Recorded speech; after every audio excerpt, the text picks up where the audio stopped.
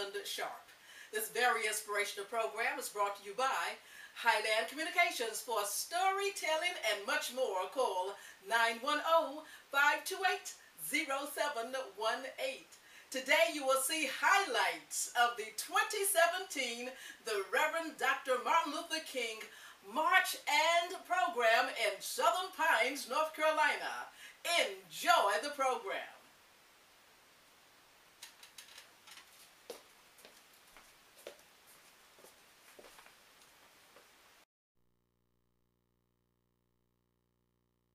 We're here in Southern Pines, North Carolina, 2017 MLK Junior March. We're excited today, Southern Pines Police.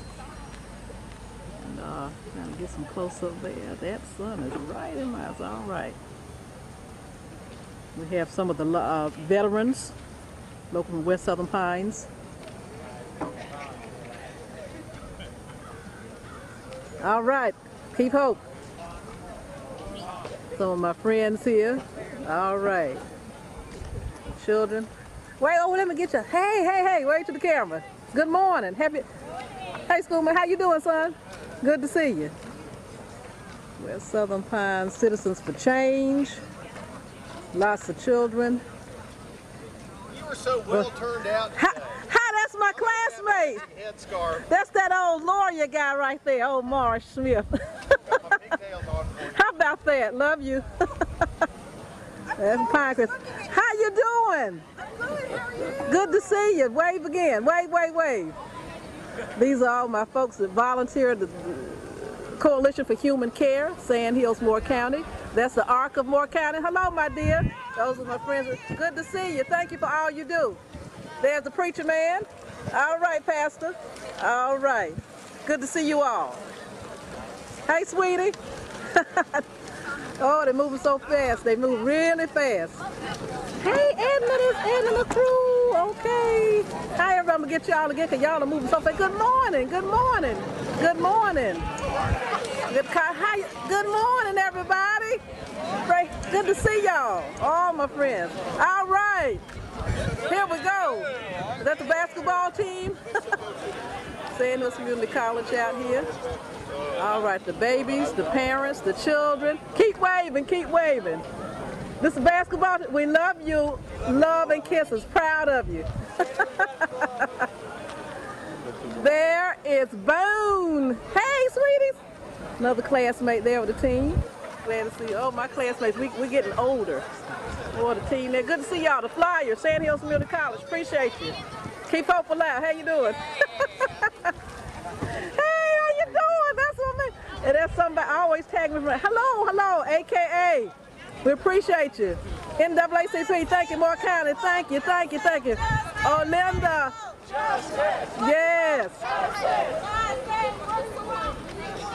Okay, had a bigger crowd than we thought here. Lots of children from Moore County schools, no doubt the Boys and Girls Club, United Church of Christ.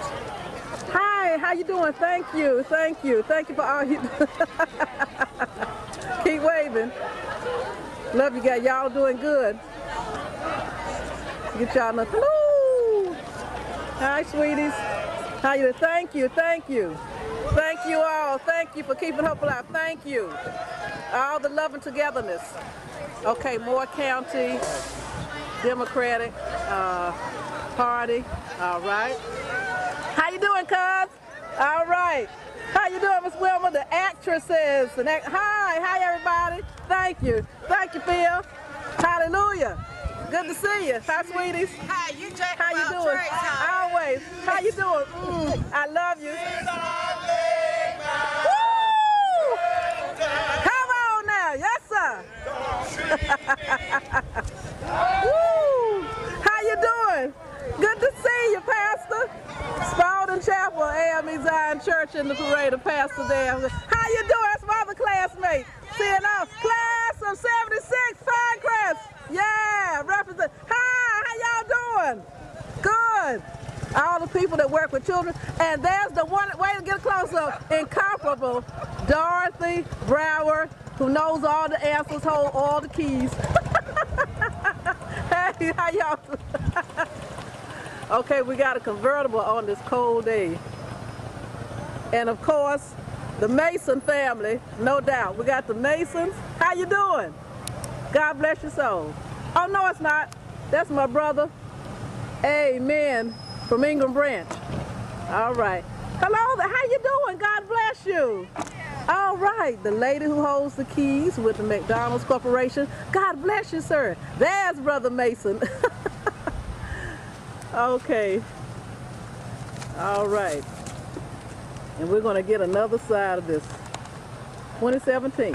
All right, Southern Pines, North Carolina, we are here for the 2017 Martin Luther King Jr., the Reverend Dr. Martin Luther King Jr. March this year at the west side of Southern Pines, North Carolina. On Pennsylvania Avenue, getting this beautiful shot here. The flags are up. People have just, in the march, come across from uh, across the train tracks on the east side to the west side of Southern Pines, North Carolina, led by Southern Pines Police. All sorts of groups are represented today, and we're excited. Amen. And here comes the crowd. Everybody's looking good today. Beautiful. The signs are up. And just looking to get these beautiful shots today of all the marchers. The music in the background playing. From the wonderful uh, mortuary next door. Yes, at the mortuary, it's all good. Little James Brown in the background. All right. At the corner of Stevens Street and West Pennsylvania Avenue. This is Rose Highland Sharpe, and you're in tune to Town Talk today. Hope you can hear me pretty clearly over all the music today. Here comes the crowd. Here comes the marchers representing Sandhills Community College and the Flyers basketball team representing Moore County NAACP. O'Linda, of course, is the president of that branch, also representing the West Southern Pines Civic Club Incorporated. I see folks also with the West Southern Pines Citizens for Change. Some folks with some local churches. Uh, Pastor Ren Lee saw him today. Brother, e uh, brother uh, from Ingram Branch, Brother Person, who's riding in a convertible. Uh, mistook him for another member of another family, but it's all good. It's all good. Lots of children here today representing various areas uh, of Moore County, uh, the public schools. Some of my classmates representing the class of 76, Pinecrest High School. Oh boy, this is grand. Attorneys, those in the medical profession. Some of my former students with the Basic Skills Program, Adult Basic Education, Sandhills Community College. Some of the students also I had an opportunity to tutor with Moore County Schools. Academy Heights, Pinehurst Elementary, West Pine, Middle Pinecrest High School, and some of the children I've gotten to do some stories with uh, with the Africa to America, the roots of the music we have today, uh, during Black History Month and other times of the year, and other children I've taught in uh, various things having to do with the uh, the church and community. All right, good to see you. All right, so here we come, and we're going to get some. That's right, we shot there. Clearer shots today. It's all good. All right, amen. All right, that's beautiful, beautiful shot, beautiful shot. And it's all about him. What he stood for, what we're still standing for. It's all about the dream, keeping it real, and doing what we need to do every day to make a difference. Beautiful children. Amen. There's lyrical other kids there. So glad to see them. So glad to see all the children representing all the pockets of the community. Is absolutely wonderful. Reverend Fred Walden, many representing the veterans.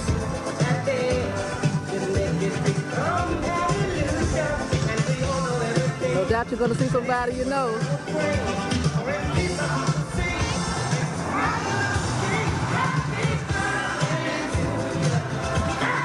All right, you got the right music.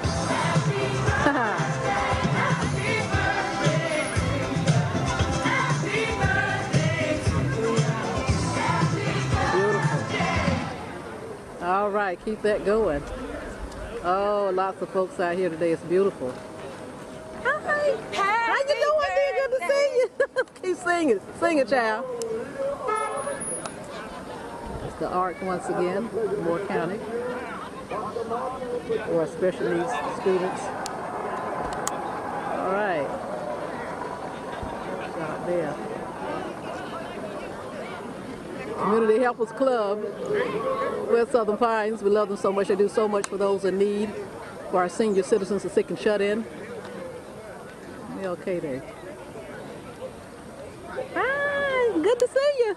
Way, way, good to see y'all. Thank you for all that you do. Appreciate you. There's Caroline Eddy, uh, Executive Director for the Boys and Girls Club here in the Moore County area, Sandhills, Southern Pines Ranch, and uh, Boys and Girls Club, Eddie. We love those children. All right, representing many of the various public schools, and it's a great program for our children to grow, for those who need somewhere to go after school and during the summer. Action, all right. Hey! Thank you Hey, thank you. I bet I believe that's the the guys I know there, and the kids from Sandhills Community College, the youth basketball team, a generous introduction, Homo Omega Omega chapter, uh, the uh, AKA, trying to get that shot. We'll have to go around and get another shot here. Uh, these pictures here. Mr. Whitaker's daughter. I saw her walking there. It's always AKA good to in the Carthage area ritual. have your closest friend and associate say something good about you. You guys trying to work the Abernathy is the camera and see everybody, see who's coming up. Quite a task, but I enjoy it. Community service. Uh, this Town Talk TV show is NAACP of delighted County. to see each of you here tonight. Hey, all right. Those are guys that uh in the motor, good to see you. Motorcycle, yeah. NAACP there. You reveal that you are Hey, determined and then, oh my gosh, from Town, North Carolina, representing the Gaddy and Stewart. We love you. something is happening. and then Love you, sweetie. I talked to you. And you know, All right, how you doing? Niggas a family. All right, right. A lot of these folks I grew up with. Hey, sweeties, how you doing? Good to see you. Represent Galilee. See you, see you, see you. A kind of general and panoramic view of the whole of human history up view of all the wonderful, beautiful people here in Moore County. And the Almighty said to They just walked a long ways to pull that hill, I tell you. All these babies. Which age Congregational- would you like to Congregational live? Church of Pinehurst. Hey, I would take my mental flight and there's by Egypt. And that's, I uh, I hear Brother Dickerson singing, and you hear the late great Reverend Dr. Martin Luther King voices, his voice in the back. from the. King's of Egypt to I rather across the Red Sea through the wilderness on toward the promised land. Amen. And in spite of its magnificence, I wouldn't stop there. Okay. Trying to get these uh, Moore County Democratic I Party. would move on by Greece and Yes. take my mind Hey, hey, good to see you. Good to see you. Some missionaries. See some from all the churches. Hey, hey, hey. Hey, there, got y'all again. Hey, so you got the little babies in there. So many churches represented.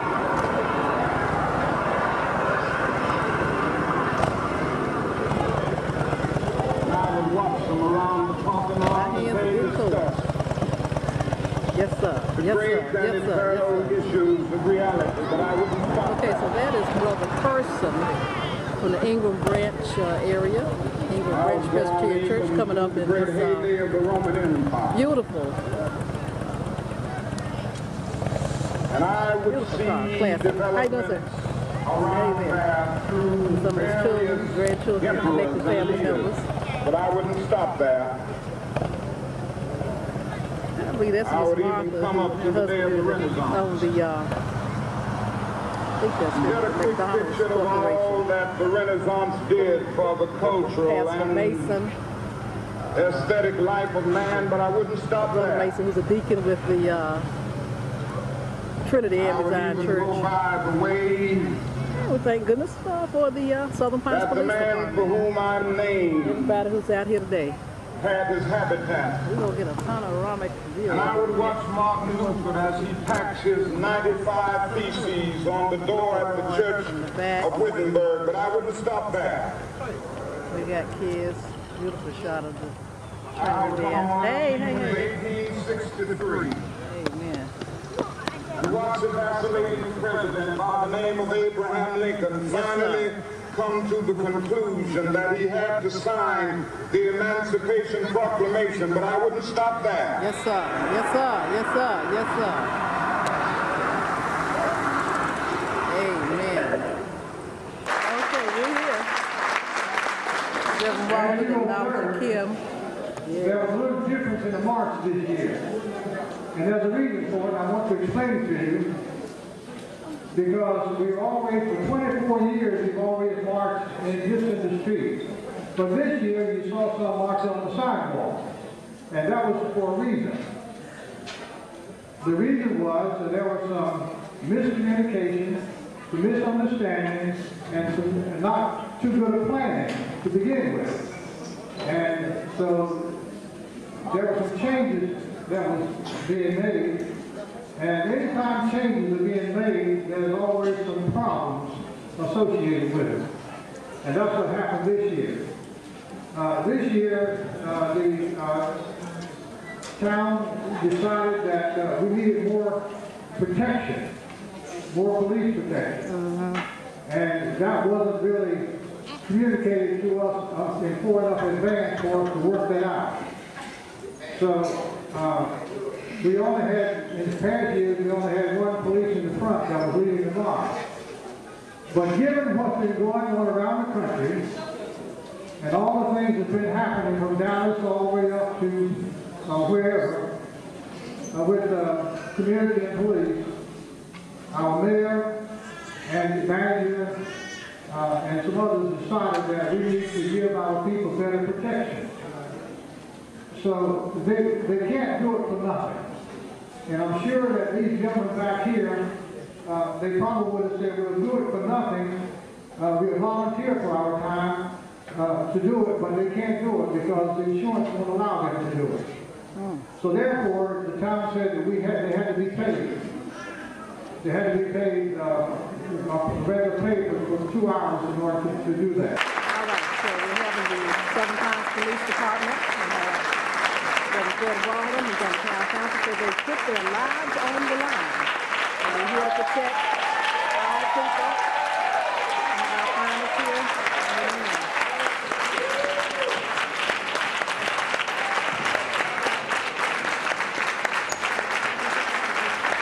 So we're gonna have people come up, give a hug, remember there, and uh, just know the rest of the story. Appreciate it. All right. Well, thank you. That that was very, very warm and, and welcoming, and uh, we greatly appreciate that. It's been an honor being your chief of police here in Southern Pines. Uh, before I became the chief, I was the community services coordinator, working closely with the West Southern Pines group, um, West Southern Pines Citizens Change, the West Southern Pines Neighborhood Watch. Um, it was a really, really good foundation for me to, to build on uh, to become the chief, and uh, and I'm grateful for the opportunity. But uh, with us today, uh, to my immediate right, Lieutenant Jack Austin. Uh, to his right, Sergeant Paul Wright. Then we have Officer Michael Griffin, Officer Marcus Rummel. We have Officer George Britt. We have Officer Mario Kaiser. And in addition to these officers, there's still others out on the road handling postal service that, that helped us uh, keep this a safe event today. And, and again, that, that welcome was, was very heartfelt and it's going to be with me for, for quite a while. So thank you very much for that. Southern Pines Police Department, representing our law enforcement, protecting folks today. Let me say something about these uh, police officers. Okay. And this is, and this is not about a Kim Wade, and this is West not about. Civic Club Incorporated. Uh, This is a we, this is a we, we, And we. they ask all the uh, members to come up. West Southern Crime And also as the uh, executive officer of the NAACP, we just had a- um, an election. I would like for those members to come up. The executive officer of the NAACP, if you all come Linda. Williams, or rather, The executive officer, Watkins, Linda, giving us introductions. And come on up. Joyce, I know you, I know you, I know you finished your position, but you still had a hand in 2016, and 2014 to 2016. But I just want y'all to see, this is a we. As Reverend Barber said in the NAACP, this is, it's not about Reverend Barber, it's not about Linda, it's not about him. It's about the we of people who organize our industry, like some of you all also too. But I just wanted to say to the West Southern Pine Civic Organization and other organizations that we thank you from the bottom of our heart in helping and stand with us as we are out in the streets. Some of us were still disobedience and was, was arrested beginning in 2013. Ladies and gentlemen, please give a round of applause.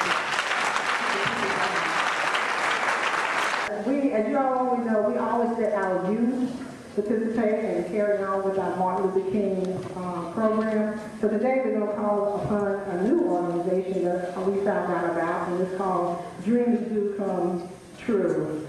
And we'll let them come up and proceed, preside over the program right now. Thank you all so much. we got Felicia Winfield.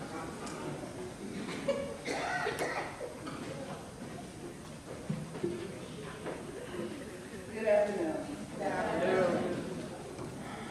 This was um, an awesome march for me, actually it's not the first march. To see the togetherness, the unity is very heartfelt.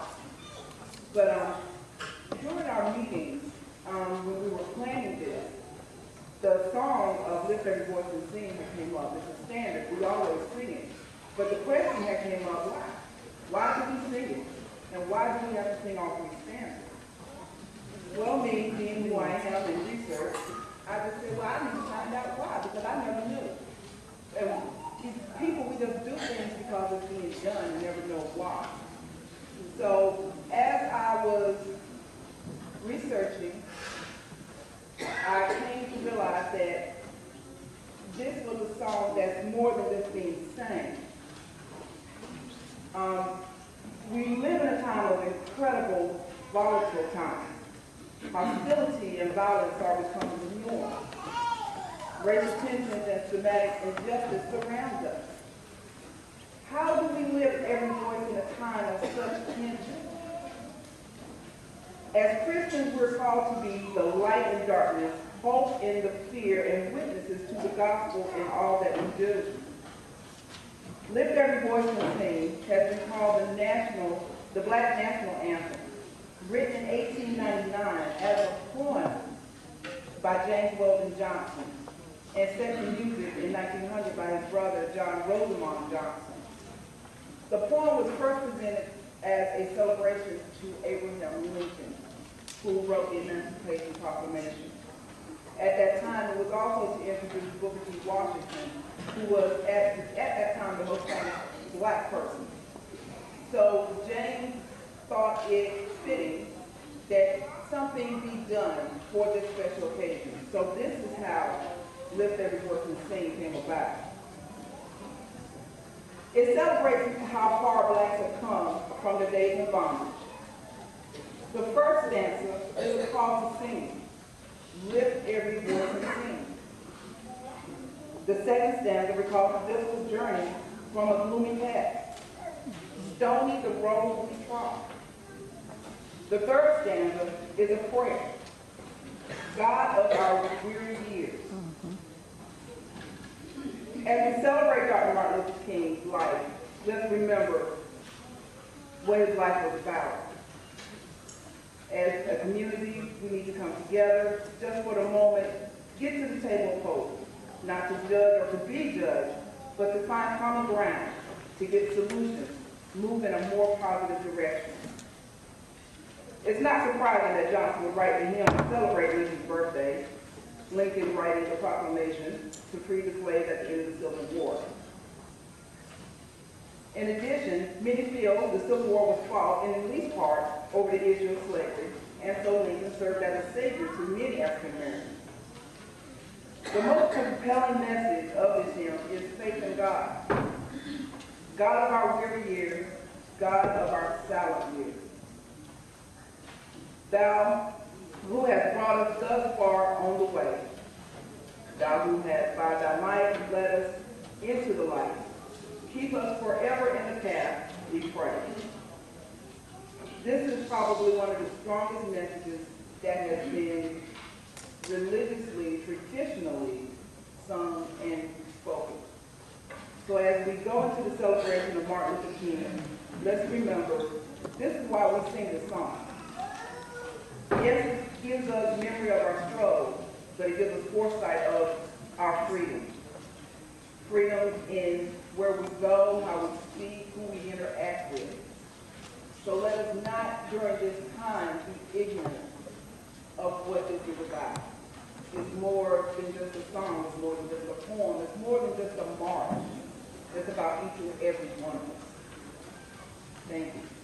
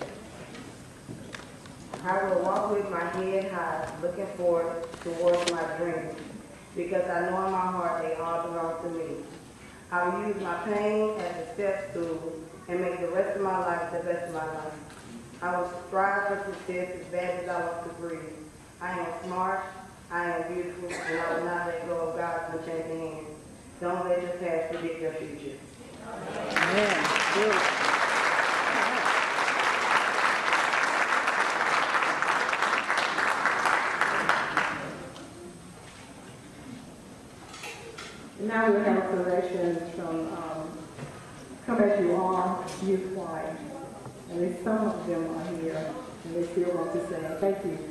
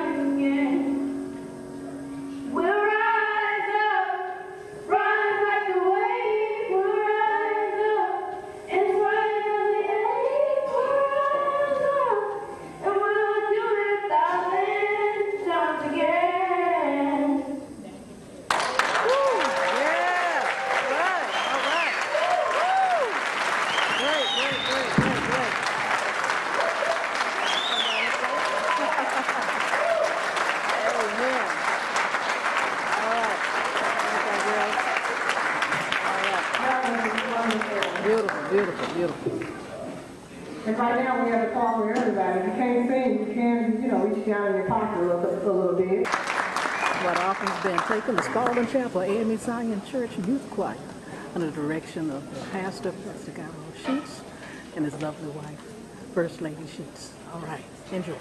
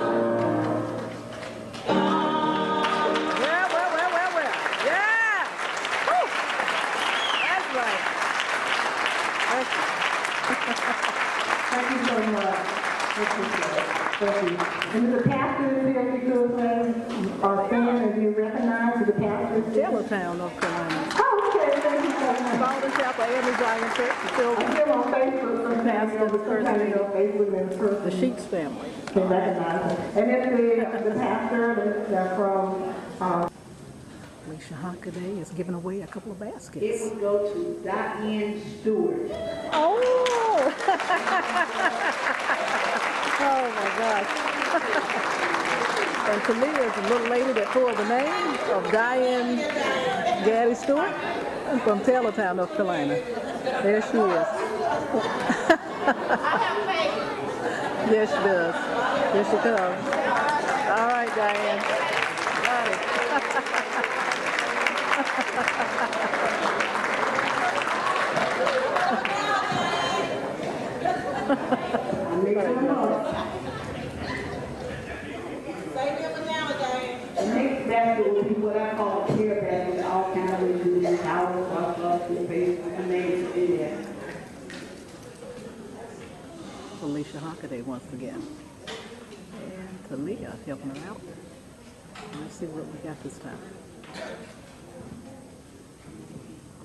This basket goes to Ernestine, can't remember the last name.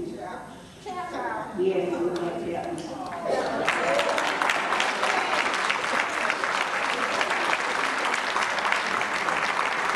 Thank you very much. Thank you. Okay, and the thing, that's great. Ms. Chapman, Ms. B, I would call Ms. B. Noah. He is, um, president and goes to the Pinehurst High School. Um, I would like to thank him. Noah has been traveling all over North Carolina. Uh, when we had one of the Noah Mondays, I turned around and that was Noah. When we had a meeting, that was Noah. I said, okay, this young man is showing out. He, he want to get in the movement. So after that, I said, okay, Noah, we gonna put you to work. So it is a, great pleasure to have Noah to join the NAACP, and we're looking forward for other young people to come on board also. So we're gonna ask Noah to come up and present, introduce our speaker for that.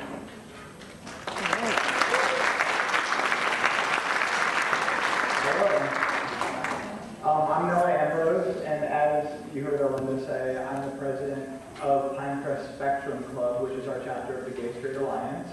Um, but I've also done a lot of work with the NAACP, Equality North Carolina, um, Hills Pride, and just advancing equality all throughout the state for all people. So I am so honored to join all of you today in talking about a truly remarkable man who I'm privileged to call a friend and that would be uh, Mr. Al McSurely.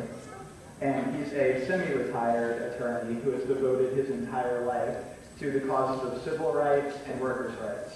He's a close friend and collaborator with the North Carolina NAACP president, uh, William J. Barber II. He recently moved from Chapel Hill to Carthage to be with his new bride, Moore County NAACP president, O'Linda Watkins. Mr. McSurely was born in Dayton, Ohio in 1936. He received his undergraduate degree from UNC in 1959, and over the next two decades, he turned his energy to fighting racism and poverty, and to organizing working people in South. He worked hand in hand with the Student Nonviolent Coordinating Committee, the Southern Christian Leadership Conference, the Congress on Racial Equality, and the Southern Conference Educational Fund. He was an organizer of the Poor People's Campaign on Washington, D.C., working with his wife, Margaret McSurely, now Margaret Herring, to organize workers in Kentucky leading to their arrests for sedition in 1969. Their home was firebombed for their efforts to stand against systematic oppression of African Americans and working class whites. In 1969, they were further charged with contempt of Congress. Both charges were defeated, and the couple successfully sued for damages in 1983. In the 70s, Mr. McSurely worked um, as an attorney's apprentice, a school teacher, and an assistant professor at the Washington, D.C. branch of Antioch College. Always messes me up. Um, in 1971, he earned his master's degree in counseling psychology, and he was a counselor with the Fairfax County Juvenile Court System.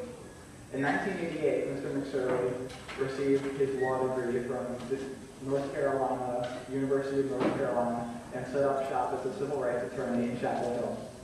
There, the newly minted attorney devoted his practice to maintaining and expanding upon workers' rights in the 60s.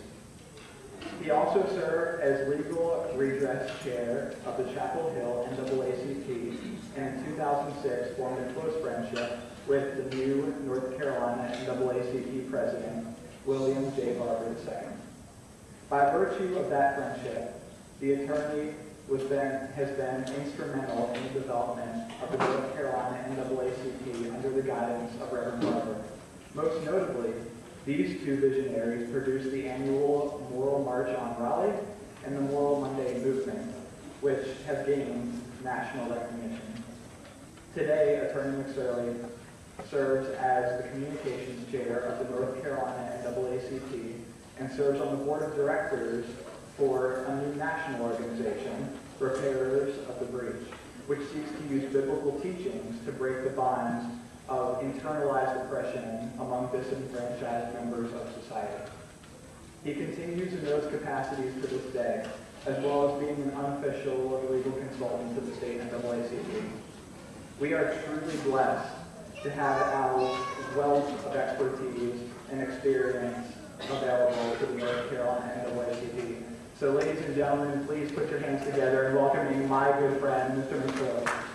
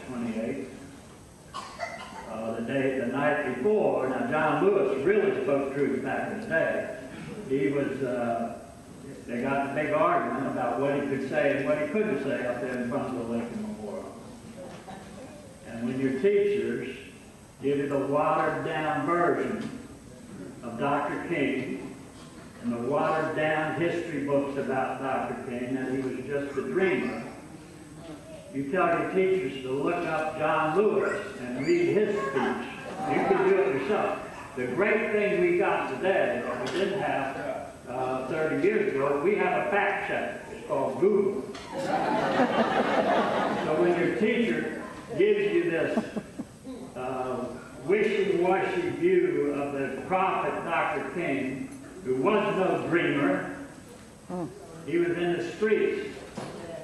He was fighting. He didn't get shot in Memphis because he was a dreamer. No. He got shot in Memphis because he was out there organizing garbage workers, bringing the union movement to the South, getting black and white people together, solidarity forever. He got shot because he was organizing the Poor People's Campaign. It was already marching up from Marks, Mississippi, a wagon train. Some of you old timers know what I'm talking about. He got shot because he was going to put Appalachian hillbillies together with poor black people from Mississippi in the Poor People Campaign. Ask your teachers why they don't teach about that.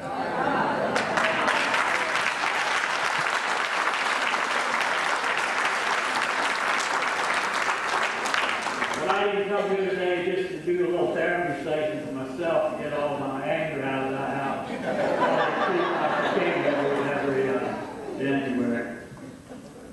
Uh, I want to just talk a little bit about the uh, idea of a prophet.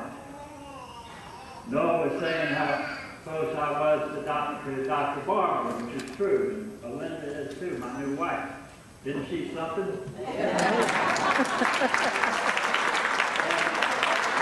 Uh, Dr. Barber, a lot of people call him a prophet. Uh, we know him very well. He, he's, he's a genius. Dr. King was a genius, no question about that. And he reads history uh, like it's a comic book. And so did Dr. King. And they read the Old Testament every night and every morning. And they uh, learned from the prophets, the really good prophets, Jeremiah and Isaiah and Amos, who were brought up in a time of great injustice with fools for kings like we got today.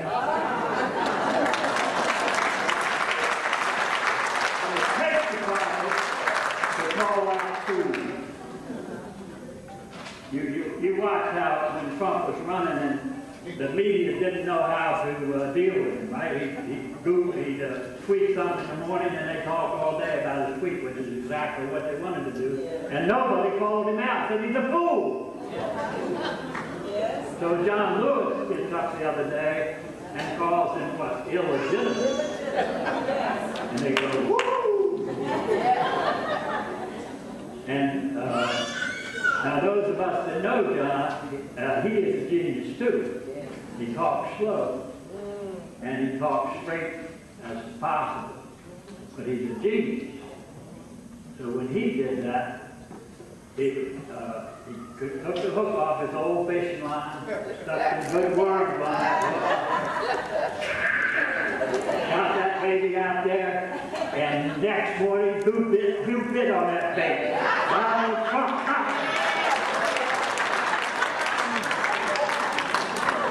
And calling him illegitimate, what do we know now? He's an illegitimate racist. So John turned that cor- corner just a little bit for all of us, giving everybody here on Martin Luther King King Day almost, right? It was, and you got to remember, John and Dr. King were like that. They were very, very close friends. And he, John goes through all, all of us who knew Dr. King and worked with him goes through all kinds of changes around Dr. King Day because they, they, they don't, we don't know who they're talking about. I read history books about Dr. King. I don't know who they're talking about. It's not the person I know. It's not the person John knew very well. So what John did the other day was to call it illegitimate, baited this hook, Donald Trump bit like a fool.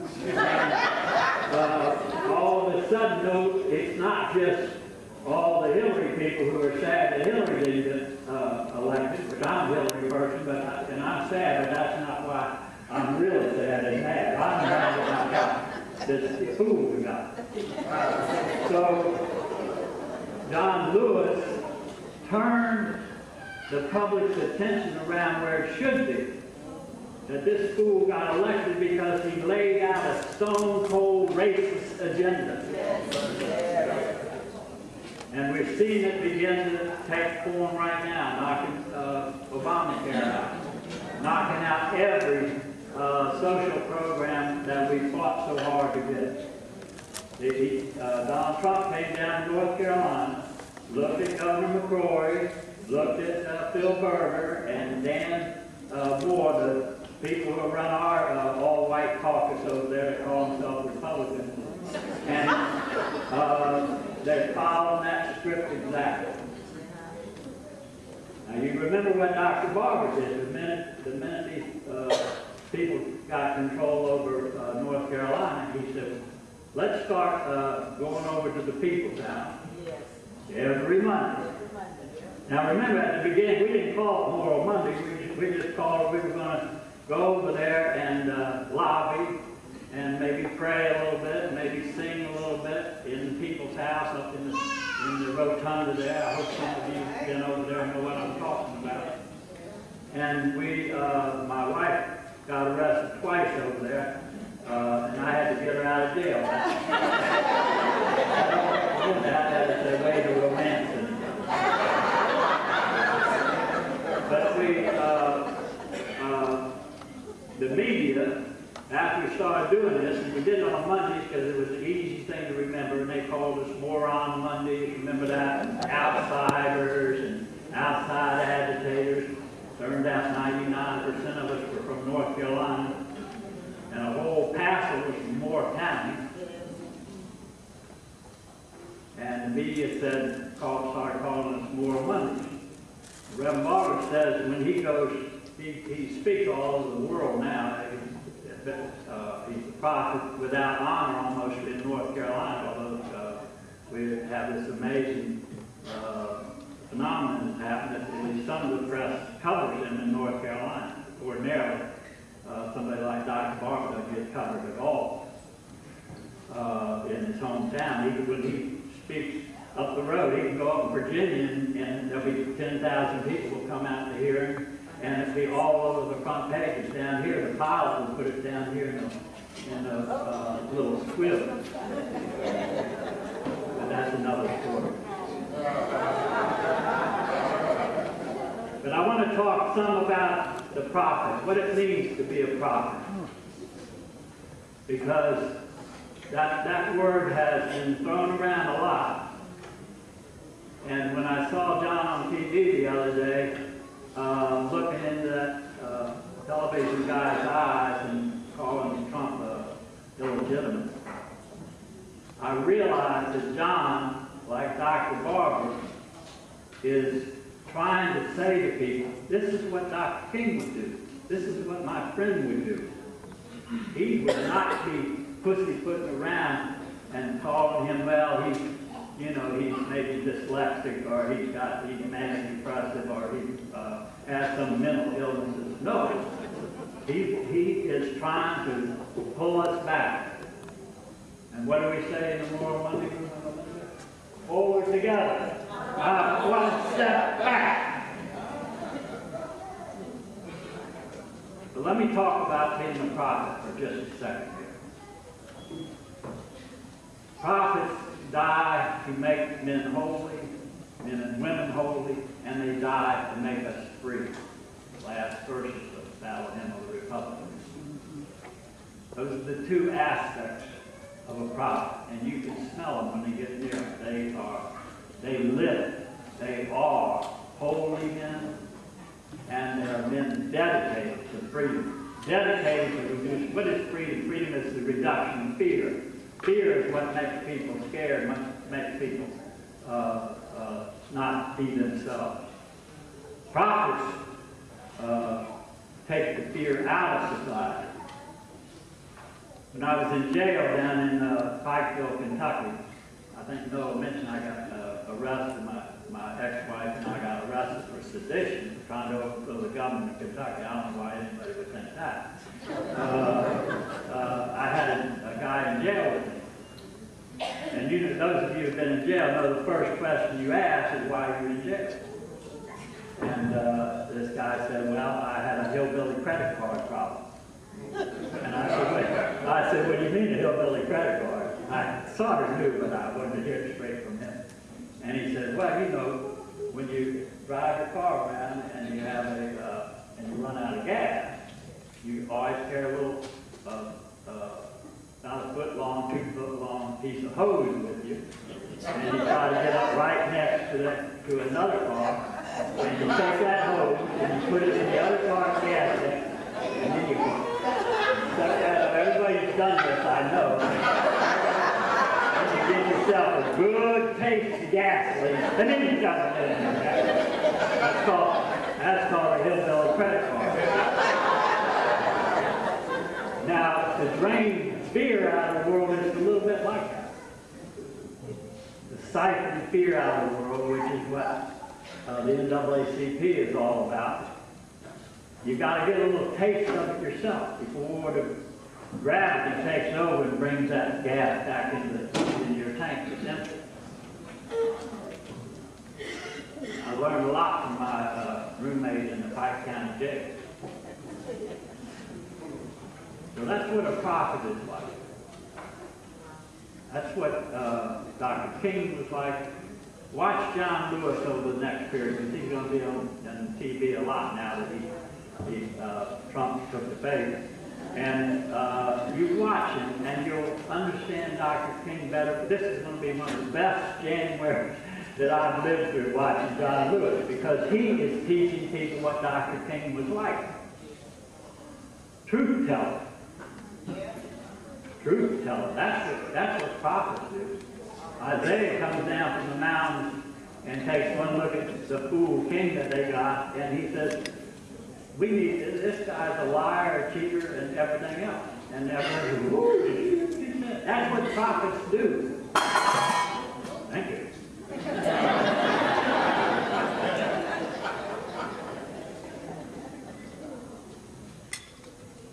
Let me go back to the, uh, August 28th, when the, uh, uh, Dr. King gave his dream speech. John's speech is not as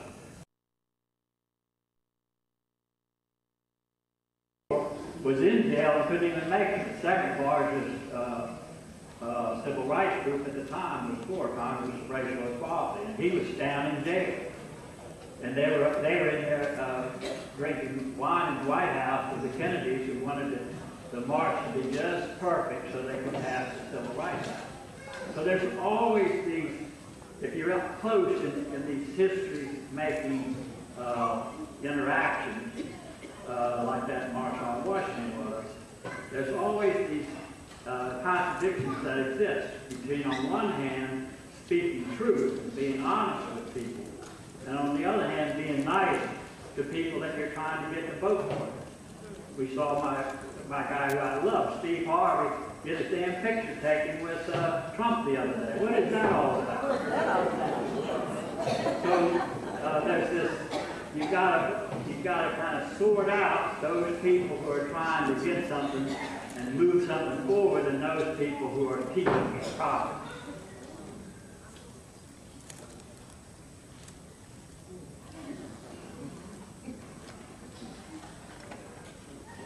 The other thing that uh, uh, about prophets is they're very conscious uh, that they are uh, only there for a few years. They're only there for a few years. Prophets face death every day. Martin faced death every day in his adult life. Every day. He was threatened uh, with uh, death over and over again. This is before Gmails and emails. These are notes and rocks thrown through his windows and bombs thrown in his house. And he knew he was uh, not going to live a long life. He, of course, he talked about it in some of his uh, speeches. Dr. Barber, similarly. So if you want to hear what Dr. King sounds like, if you have never heard Dr. Barber in person, you should come to the HKonJ, the Moral March on Raleigh on February 11th. I think Belinda put something about that in your program. Uh, and you can tell your kids you heard somebody that's uh, it was as close as we'll ever come to a Dr. King today. You don't have to wait till he's dead and gone and listen to him on the record. You can go be with him. And not only that, you can march with him and you can put your bodies on the line with him. And we can do something, not just about Trump. That's, Trump is uh, a short time. He's not going to be here very long. And we need to, we need to organize like crazy, and we need to get him out of there. Uh, we will. Uh.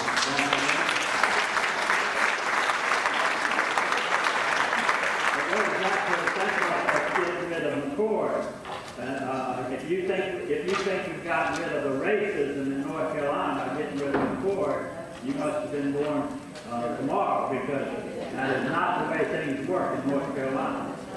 I tell you, uh, I know everyone here knows what I'm talking about. This is a long struggle. But we, we made some good victories this time, and we'll make more in uh, November of this year. That's the other thing I wanted to make sure you knew about. This year, 2017, after the IQ in the White House drops about 200 points on Friday.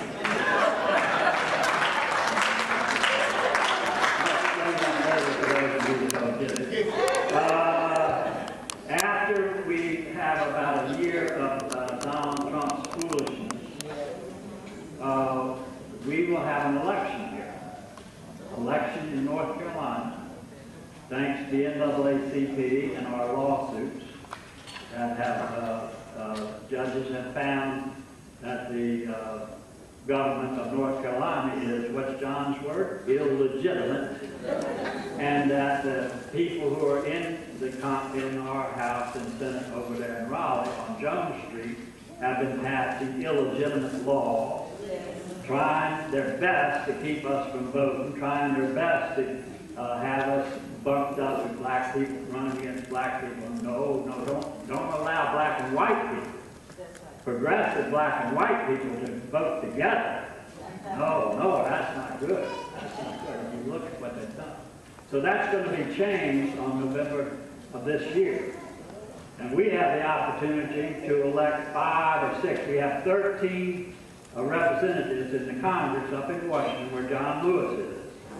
So if you know any good people who want to go up and sit next to John Lewis for a couple years in the U.S. House of Representatives, from North Carolina.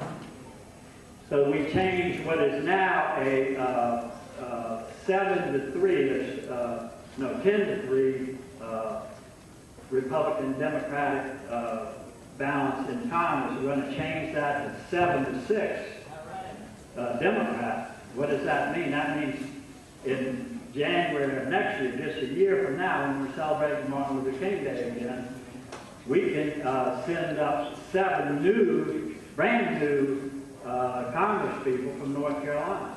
And we have the opportunity to do that on November of this year. That's only 10 months away. It's a special election. Uh, the uh, turnout will be key turkey. It'll be as low as you possibly can get. Three or four hundred people don't make it out to some of these uh, where we just we just voted. So we need to work hard on that. That's how we can help really remember Dr. King. I want to uh, uh, make two more comments before I take my speech. Not only did Dr. King uh, organize the Poor People's Campaign uh, in 1967 and 68, just before he was killed, but he also came out against the war in Vietnam. I saw some people with Vietnam uh, uh, veterans hats on today. Everyone, uh, young people don't remember, but that war uh, caused thousands, millions of young people in this country to come alive about the U.S. and how we uh, used our military might to uh, force our will on poor people halfway around the world, in this case Vietnam. And Dr. King was under great pressure to keep his eyes uh, shut and his mouth shut about this atrocity that was happening in Vietnam. Uh, he, all the black people who were getting money from the government said, oh, Martin, don't come out against that war. Don't come out against that war because we're going to lose our job. And uh, that's the way they keep people quiet. They give you money on one side, and if that doesn't work. So uh, Dr. King said, I don't care. I'm going to go up there and I'm going to speak out. I see people nodding. He was never most courageous act. That summer he set up with, on the summer of 1967, he and Dr. Spock uh, set up a, a national organizing drive called Vietnam Summer, where they hired uh, probably 20,000 young people to go door to door and sit down and talk with people about the war in Vietnam. Do you learn about that in history books? No. I was one of them. I did it in West Virginia and East Kentucky. Sat down and would talk to hillbillies about uh, what Dr. King was. I used Dr. King's speech that he made on uh, April 4th, 1967, one year to the day before he was killed uh, in Memphis. Most, one of the most beautiful speeches. Ask your teacher if you can see that. If not, look it up on Google. Better yet, look it up on Google, print it out, take it in to your classes and say, let's study this when we talk about Martin Luther King. And that reminds me of my last suggestion before I take my seat. One of the things that the NAACP has won, and our lawyers, including me, won on July 29th of 2016, on barely, what, five, six months ago, was a magnificent victory in the Fourth Circuit Court of Richmond. Some of us were here. Yeah. The three-judge panel, the second highest court in the land, came out and found that the Governor McCrory, uh, God bless him, uh, some of the other, uh, other people there, Tommy Tillis, remember Tommy Tillis, Speaker of the House, now our senator, who voted against Loretta Lynch and for Jefferson Beauregard uh, Sessions. Now, Don't you love those names? Jefferson Beauregard Sessions is, they got a third act. His daddy was named Jeff- Jefferson Beauregard, and his granddaddy was named Jefferson Beauregard. Of course, they're talking about Jefferson Davis and J.P. Beauregard, who was the highest ranking Confederate general, who fought their whole lives to uh, protect and restore the system of slavery. But the really interesting people to have to be named after, and now to be our Attorney General. Tom Tillis voted for him and against Loretta Lynch. And Tom Tillis was found by the Fourth Circuit's uh, opinion to have surgically targeted black people and young people in, in his Voter Suppression Act, which they threw out lock, stock, and barrel. Now, part of what they threw out, and know some of the young people here today that are still in high school, this is directed for you. One of the things they wanted, they wanted to stop young people from voting. They wanted to stop young people from even thinking about politics. They didn't want young people to, they don't want you to read. They want to dumb you down. They want to dumb, you saw how dumb the elected is on hold, they elected this fool. But they, but they know that won't keep up if the dumb, if the young people learn to read and read the newspapers that are halfway decent. But you can check them out by Google. Google was the fact checker. So one of the things they cut out was this pre-registration of 16 and 17 year olds, which had been put in by a very progressive, in a progressive law called the Motor Voter Law. And the whole idea was to let uh, civics teachers and social studies teachers, you know, I'm talking about usually the most liberal, most progressive people in your high school and junior high school. And they didn't want them uh, they, they were, could volunteer. You can volunteer as a teacher to take charge of this voter registration program in your high school. And uh, the right wing, the people that want to shut down any kind of education in this country, uh, uh, threw that in and kicked that out. They can read. They knew that Obama, you know, what, 60, 70% of young people voted for Obama and 60 or 70 of young people voted against HB2 and all this anti-gay crap that uh, people were doing. So uh, they cut that out, and we. I asked the uh, Moore County Superintendent the other day. I said, "When are you going to put that back in?" You were told to put it back in on July 29th. When are you going to put, put back in the pre-registration 16 and 17 year olds, which not only helps those kids, but it helps organize within the schools. It, Yes. it pulls out. I see some teachers, I used to be a teacher. You know in teachers' rooms, you can tell the hip teachers when we have teachers meetings. And you pull out the hip teachers and you say, who wants to volunteer to run that 16 and 17 year old pre-registration? The judges said we, we should be doing it again. And those teachers are the first ones you look for when you want to organize in the high school.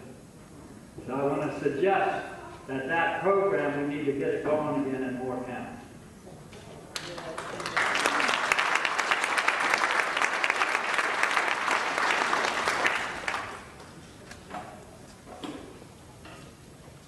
So, let me, let me, uh, circle around here and try to find the landing field. Then I'm going to spot.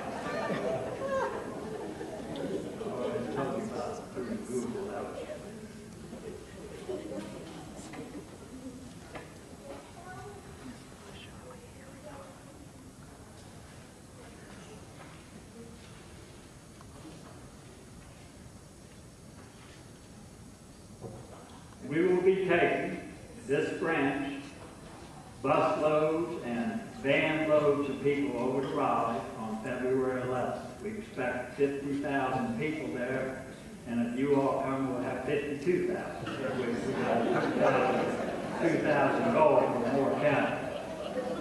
You all remember when Dr. Barber spoke here, we had about a thousand people that day, so we're not, we ought to, uh, that was before Trump. Trump has been one of our best organizers.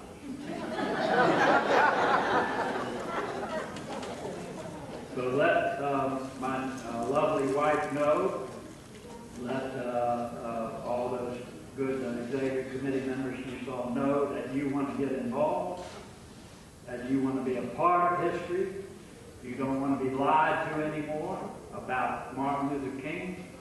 You want to uh, go and hear straight from the horse's mouth, in this case, a big horse from Goldsboro, Reverend Barber, who tells it like it is every time he opens his big old mouth.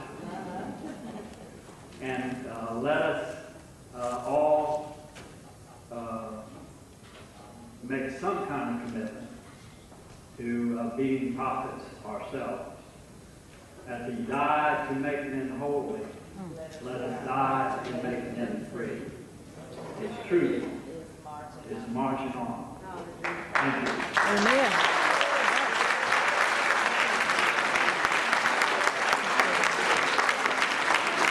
Hold it. She are holding on today. She's true. Just marching on.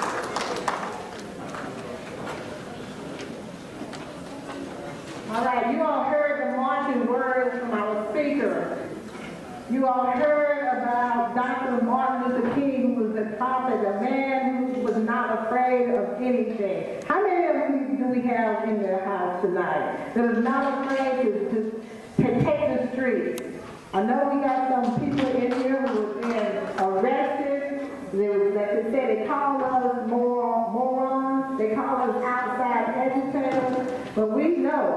that we are marching for people who are not able to march. We stand in the gap of people who are not able to. If you believe in women's rights, say yeah. If you believe in voting rights, say yeah. If you believe in public education, say yeah. If you believe in equality, say yeah. If you believe in civil rights, say yeah. All right. Now I know at the time whenever you heard the speaker talking about HK on J, that you're gonna, you're willing and you're ready. We need to take our young people to Raleigh. We need to let them see how college students all across North Carolina, and even out of state, how they organize to get, get ready for the battle. Because we, y'all know, we cannot skip not one generation. We cannot skip not one generation in doing this civil rights movement. The more, more movement, HK on J, that is a powerful, powerful situation that you can be in. A situation that you can voice your, your opinion of how you feel about how not only the state, the national is being run, but also how we are, our General Assembly is being run in Raleigh. You all heard about how the governor, the former governor called in a session, a special session for people who lost their, uh, every, not everything. Hurricane Matthews, I think that's what it was. Now they called in one session, but you know how, what we did? We had to stay up there for five, four, five days because they was wanting to work behind the scenes. They wanted to keep, they wanted to keep things in the dark. But under the leadership of Reverend Barber and other coalition with the NAACP, we, we packed the house. There were people there that couldn't go to work, they called their friends to take their place. We were going from one side of the building to the other side. They locked us out. But you all may have seen a video where one soldier came up, he was a and he came in, he heard what Reverend Barber said, that if, if you, they can't lock you out of the house. This is your house. This is what we call a people's house. So we had people coming knocking on the door. They told you, knock on the door. to going to jail. People still not. And they were, they did it civil disobedience. But we're calling the Moore County NAACP. We're gonna have, we, we got a sign-up sheet out front that if you are interested in going to HKonJ February 11th to sign up, we're gonna try to get a, a bus to come into Moore County to take our young people. And we need adults. Because we can't do this all by ourselves. If we got 12 years old that want to go, we need to put them on the bus so they can see the march, similar to what Martin Luther King did and other people did in years before us. We are, we are fighting again. They're looking at North Carolina as Selma. North Carolina is Selma. So we're asking everybody to put on some comfortable shoes, dress warm, and join us to HKonJ in Raleigh on February 11th. Please sign up, and so that we can do this in time that we can get transportation. And also, y'all heard about the March on Raleigh, the Women's March. We also have, um, going to, we're going to take some young women, some young girls and young women to go to that march. In solidarity of the march on on January the 21st, the one that's going to be taking place in D.C. We organize it in Raleigh. So also, there is a form that I have here, and I forgot to leave out of that front, that if any girl, or young girl who wants to go to the march, the Women's March on January 21st, we want to get a van, if we need to, get a bus, a couple of vans, and take some young girls to Raleigh to the Women's March. It's going to be also powerful. Another thing that you all will be seeing, in the NAACP and other partners in Moore County, is Kawara getting together and talking about the issues in Moore County, coming on common ground on common issues. So I do have, if you, um, Margaret, the Secretary, if you could please come get this form, um, fill out, we're going to ask all the, org- the different organizations to fill out the, the partnership form so that we can start meeting together and having what we call a meeting of coming together. Our pastors will ask you also to sign the form, your name, your email information, and the organization that you are are with. That'll be fine. So please go by and fill out uh, those, those forms right there. And also with the going to HKonJ on February 11th, and um, so that we can be prepared. We want to march like King and, and how they organized the March on Washington. So I just want to say to y'all, thank the speaker bring us up to date on some of the things that we have been doing here in, in Moore County. Some people want to know what has Moore County and the ACP been doing for the year. You all, we have been recognized as one of the branch of the year. We've had two people to be recognized as Freedom Torch Award, the highest recognition, the highest honor in the North Carolina NAACP State Conference. We have been recognized honoring Laura L. Brown, who's had a, mother, a woman of the year, to be recognized as Laura L. Brown. We are recognized on the, on the state, and we've been, and also we are recognized on the national level of the activity. We may be small, but we are working. But we are asking everybody, if you're not a member of the NAACP, you have in, the, in your booklet that was distributed out, and I hope everyone received one, a membership of the NAACP. You have the flyer about the Forward Together Moral movement. And you also, this is not a one-time brochure of the Martin Luther King um, literature brochure that's been passed out. There's a lot of good information in there. If you want to volunteer for any of the uh, NAACP committees, please do so. And just come join us. Let us all get together and, and, and make Moore County, of course, better and greater what it is. Moore County is a wonderful place to live in. Moore County, we, we have great teachers, we have great administration, everything in Moore County we have is good and it's great. But yet and still, you know, there's always room to improve. And we stand for it. NAACP, we are here and we are here to help whatever way that we possibly can. So again, forward together, not one step back. And if you ever, don't be afraid to get to do civil disobedience. It's not bad. You're standing in a gap. Just be prepared. We can prepare you for that. And right now, thank you so much. Kim, again, thank you for the organization of the, um, of the march started. And you all, and all ministers, would you please stand? I would like to recognize our ministers. All ministers, please stand. Do we have any elected officials? Any elected officials, will you please stand? Thank you. School teachers,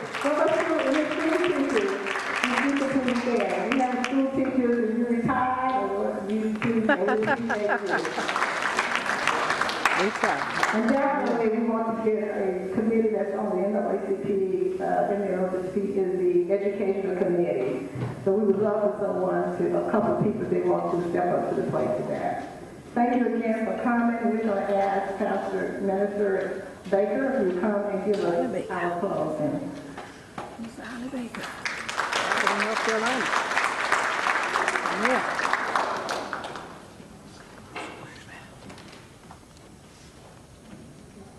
Let us all stand. Sure, we have enjoyed this wonderful uh, assembly on today. And we, uh, I pray that everybody takes uh, everything that you've heard and um, not only just be hearers, but doers and act, act on everything that we've heard and apply it to our daily lives. Okay? Uh, Let's close out in prayer. Father God, we thank you, God, for everything that was done here today. We pray, God, that you allow us to express our love to one another like never before. And we pray, God, that you uh, just continue to bless this wonderful uh, assembly and this wonderful gathering of people, oh Lord. And we pray, God, that you take us to our, our different homes without any hurt, harm, or danger. In Jesus' name I pray. Amen. Amen. You just dismiss.